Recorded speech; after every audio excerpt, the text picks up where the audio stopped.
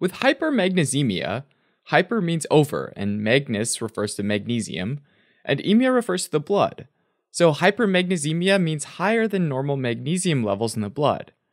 And symptoms typically develop at levels over 4 milliequivalents per liter.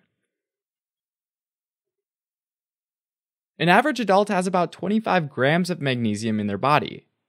About half is stored in the bones, and most of the other half is found within cells. In fact, magnesium is a really common positively charged ion found within the cell, second only to potassium.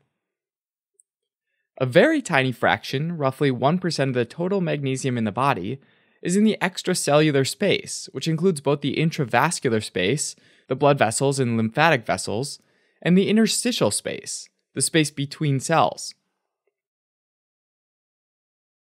Sign up for a free trial today and watch the full video on osmosis.org.